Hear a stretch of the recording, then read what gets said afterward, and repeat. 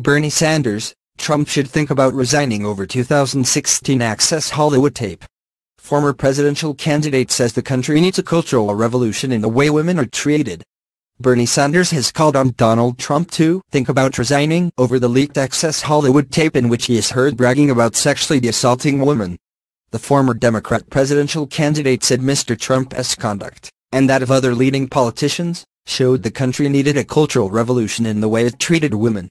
Speaking to CBS this morning, he said, We have a president of the United States who acknowledged on a tape widely seen all over the country that he's assaulted women. So I would hope maybe the President of the United States might pay attention of what's going on and also think about resigning.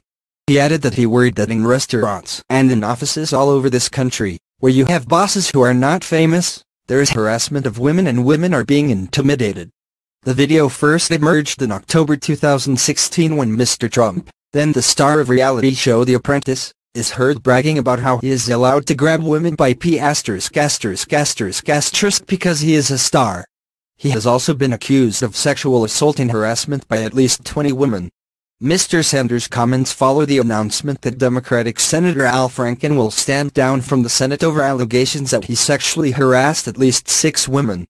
In an emotional speech on the Senate floor, the Minnesota politician said it was the worst day of my political life, but took a parting shot at Mr. Trump and Alabama Senate candidate Roy Moore.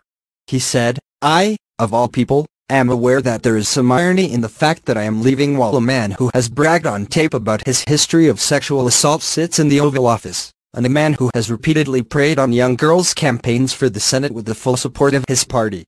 Mr. Moore has been accused of initiating sexual contact with several girls as young as 14 when he was in his 30s. He has denied the allegations.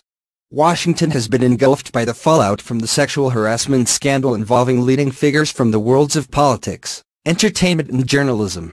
Since the New York Times and the New Yorker revealed multiple allegations of sexual harassment,